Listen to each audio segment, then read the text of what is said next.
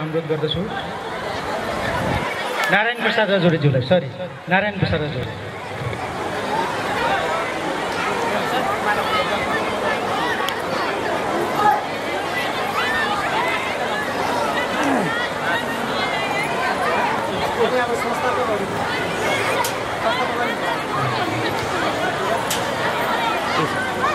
कि त्यसै गरी हाम्रो सम्मान गर्ने कार्यक्रम संस्थापकहरूलाई पनि रहेको छ।